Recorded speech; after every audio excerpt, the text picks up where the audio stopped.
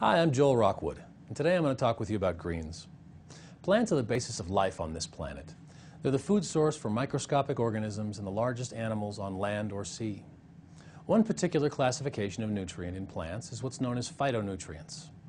Phytonutrients are biologically active nutrients that are not vitamins or minerals, but provide great benefit to the body.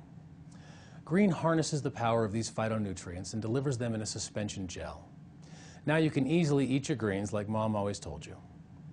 GRN is superior to other products on the market because we use whole food ingredients, which means the fibrous plant particles are included in the product, providing tremendous benefit.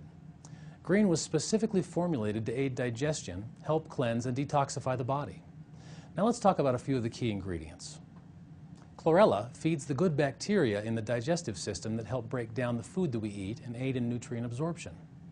Peppermint and spearmint leaves help settle the, the stomach and aids in digestion.